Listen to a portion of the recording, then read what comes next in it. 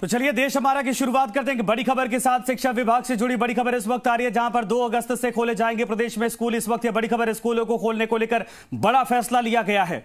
कक्षा एक से बारहवीं तक के स्कूलों को खोलने को लेकर यह बड़ा फैसला हुआ है। काफ़ी लंबे समय से अभिभावकों की तरफ़ से मांग की जा रही थी कि स्कूलों को खोला जाए। बच्चों की मानसिक मानसिकता पर इसका काफ़ी असर पड़ रहा है। बच्चे स्कूल नहीं जा पा रहे हैं और एक बड़ा फैसला प्रदेश सरकार की तरफ़ से 2 अगस्त से बच्चे स्कूल जा पाएँगे। एक से बारहवीं तक के स्कूलों को खोला जाएगा।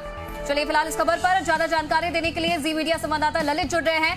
ललित, देखिए, काफ़ी लंबे इंतज़ार के बाद आखिरकार प्रदेश में 2 अगस्त से स्कूल खोले जाएँगे। क्या कुछ और जानकारी है फ़िलहाल खबर को लेकर?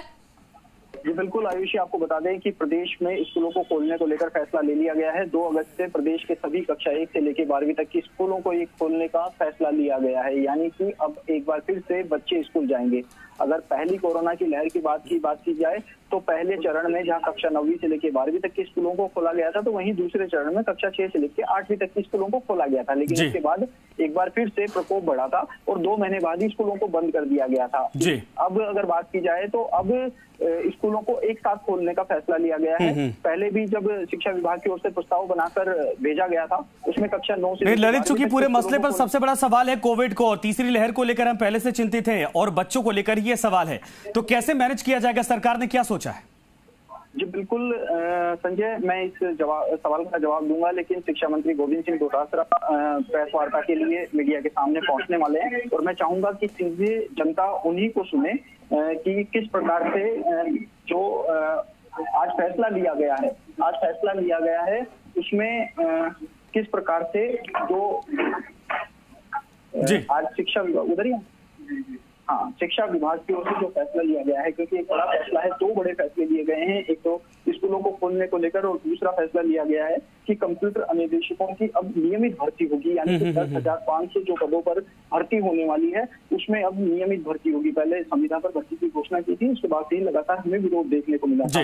लेकिन अब नियमित भर्ती की जाएगी तो वही स्कूलों के खोलने के लेकर भी आज के जो प्रस्ताव रखा गया था उसमें सभी मंत्रियों की ओर से ये सुझाव दिए गए कि क्यों ना एक बार स्कूलों को पूरा खोल दिया जाए। जी बिल्कुल सही आपने कहा ललित धन्यवाद इस पर तमाम जानकारी के लिए। सरकार का यह बड़ा फैसला और कुल मिलाकर यह है कि सरकार ने दो बड़े फैसले लिए हैं जिनमें सबसे पहले तो एक स्कूलों को खोलने को लेकर लिया गया और शिक्षा विभाग की तरफ़ से यह बड़ी खबर है। स्कूलों में अब बच्चों की आप साफ़ तौर पर आवाजाही और उनके आवाज़ सुनेंगे। और पठन पाठन का कार्य शुरू किया जाएगा। सरकार का यह बड़ा फैसला है। थोड़ी देर में शिक्षा मंत्री गोविंद सिंह डोटासरा हालाँकि इसको लेकर प्रेस कॉन्फ्रेंस करेंगे, पूरी जानकारी साझा करेंगे और बताया जा रहा है कि दो बड़े फैसले। एक तरफ़ कंप्यूटर अनुदेशक जितने थे, जो धरने पर बैठे तो उनको लेकर यह बड़ी खबर है कि अब फ़िलहाल नियमित की जाएँगी भर्तियाँ, जो संविदा पर निकाली गई थी। एक तरफ़ यह बड़ी खबर इस वक्त आ रही कि एक से लेकर बारहवीं तक के स्कूलों को खोलने को लेकर सरकार ने फैसला ले लिया है और सरकार ने साफ़ तौर पर कोविड गाइडलाइन प्रोटोकॉल के तहत यह फैसला लिया है।